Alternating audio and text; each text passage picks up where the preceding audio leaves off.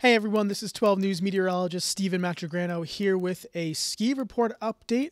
Uh, not much has been going on across New England, unfortunately. We haven't seen much snow, and uh, temperatures haven't obviously been all that cold, especially across the southern half of New England.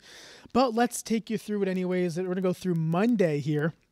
Monday evening, you know, there's a few scattered rain and snow showers.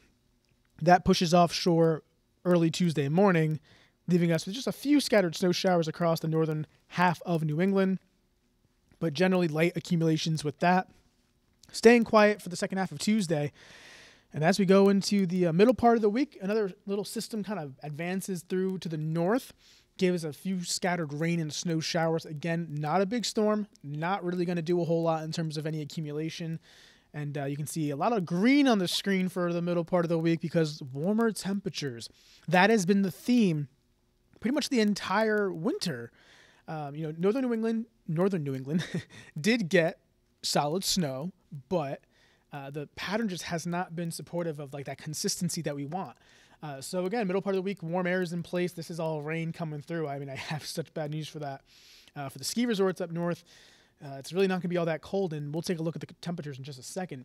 Snowfall. This is again through Thursday morning at seven o'clock in the morning not a whole lot showing here, right? Looking at less than an inch in many spots, maybe an inch or two in a couple areas, but that's about it. Really not a good week for any snow. Forecast temperatures. Again, I'm going to kind of fast forward through this to get to the middle part of the week. Watch the temperatures rise through the week. So we're at Tuesday night. Not too, you know, it's still cold. But as we go into Wednesday and especially Thursday, Look at all that dark blue and yellow approaching and, and moving further north. That's those 40s and those 50s. And uh, it's going to be mild the second half of the week. So if you have any plans to go to the resorts, you know, Wednesday, Thursday, Friday, it's going to be warm and uh, not exactly the best time to go to the mountains, I'd say. Uh, you know, a little cold air does get here, by the way, uh, down the pipeline, looking more towards like Saturday. Saturday looks to be a pretty cold day across the Northeast. So if you are making plans, uh, whether you're making the snow at the resorts or you're going to pick a resort to go to, uh, I would plan for Saturday because that looks to be at least cold enough to where you want to be on the mountain and uh, you know either skiing or snowboarding or just having those out, out outdoor activities.